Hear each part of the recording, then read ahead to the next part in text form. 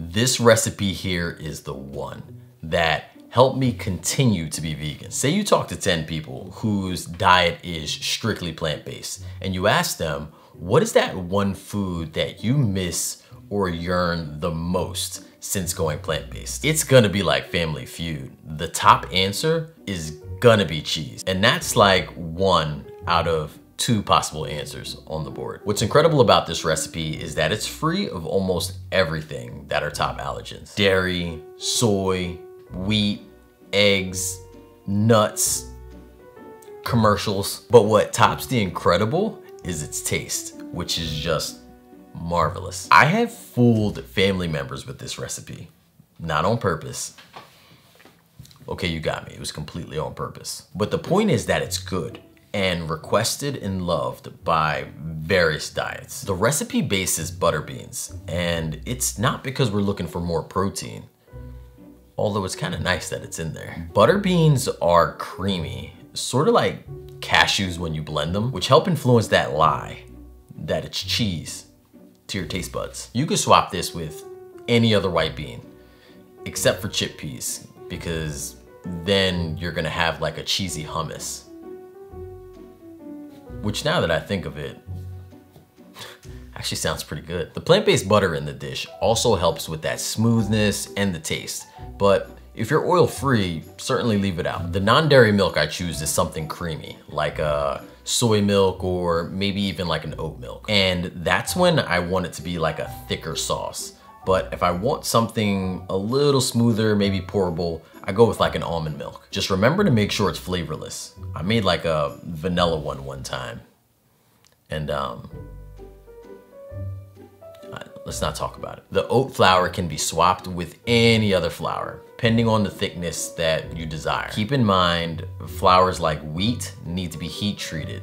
So choose something like an almond or chickpea flour. I know I said any before, but I would stay away from like a coconut flour for a recipe like this one. Outside of all the ingredients, you need two important things. Five minutes in a solid blender. Three minutes of that is you waiting in anticipation for the ingredients to blend. The other two is just you tossing everything into the blender. You could use a food processor, but a high-speed blender, if you have it, takes the cake. It not only eviscerates the ingredients, but in the three minutes, it also warms it too. And that, my friends, is killing two birds with, um, no. Not quite a vegan idiom.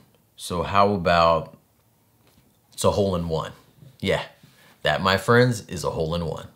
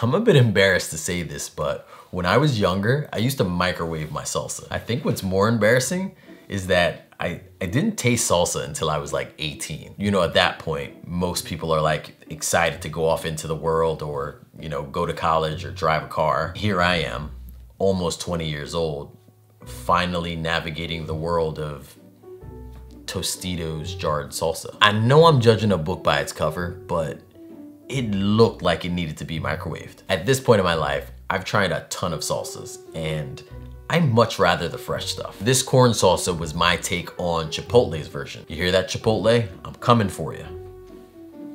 Please don't sue me. This recipe can also be made in five minutes and be good, but also kinda average, like some people.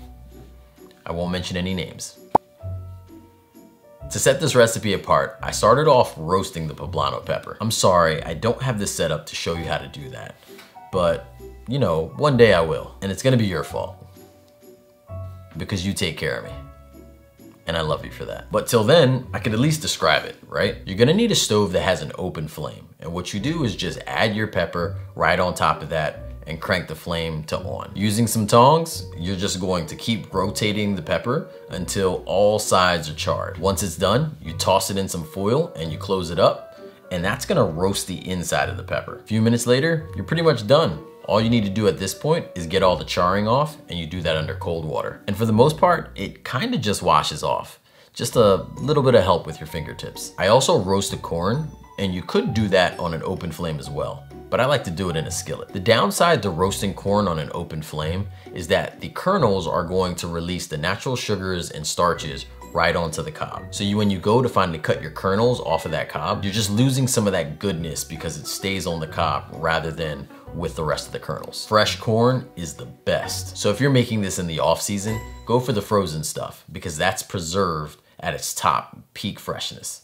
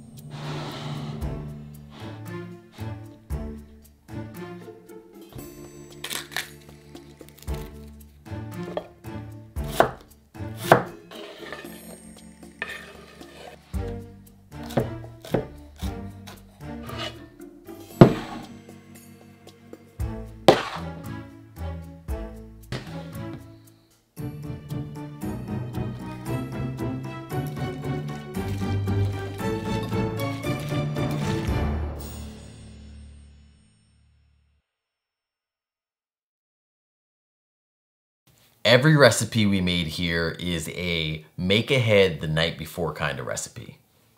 Except for this one. Because brown guac will make you think twice about what the heck is it you made the night before and sat in that fridge. Growing up in a Jamaican household, avocados were called pears. I can vaguely remember my introduction to understanding that avocados and pears are actually the same thing. I was at a friend's house and he told me not to turn down anything that his grandma offered. And all I could think is, man, I'm such a picky eater though. Of course, she asked, are you allergic to avocados? Heck yeah, all day. What? I had no idea they were the same. And looking back on it, I kind of want to apologize. No swaps in this recipe, literally just tips. First one, if you haven't made guacamole before, it is certainly something you need to plan for. Have you ever tried to peel and or smash a not ripe avocado? You would have an easier time teaching a five-year-old how to drive a car. In reverse. A great man once said, the best guacamole is all about timing. I forget who said that. I wouldn't make any swaps to this recipe, but there are some tips and tricks that you could use to make yours, you know, top notch. Make sure you use red onions. They are pretty sharp and spicy in comparison to like, you know, their cousins. They also have a really good snap, but what you can do is add them into ice water before adding them like into your recipe. That even goes to like if you're doing a salad with red onions in it and the crunch on the onions are so satisfying. We use both a lemon and a lime in the recipe. And while you may be tempted to just use one, using them both gives such a twist. It's almost like the chef's kiss that you try to crack when you get home, when you try to replicate it, and you just can't. But once you taste it and it hits you, you're like, oh, okay.